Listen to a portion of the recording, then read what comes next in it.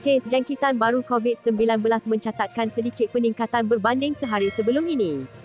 Kementerian Kesihatan melaporkan 7,276 kes baru yang menjadikan kes kumulatif kini berjumlah 2,353,579. Sejak 9 Oktober lalu, Kementerian Kesihatan hanya mengeluarkan pecahan kes baru mengikut negeri pada keesokan hari melalui portal COVID Now.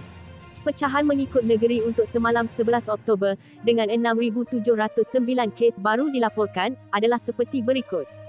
Sarawak 1037, Kelantan 938, Johor 777, Selangor 671, Sabah 532, Terengganu 480, Pulau Pinang 441, Pahang 426, Perak 414, Kedah 357, Kuala Lumpur 220, Melaka 188, Negeri Sembilan 163, Putrajaya 36, Perlis 29, Labuan kosong.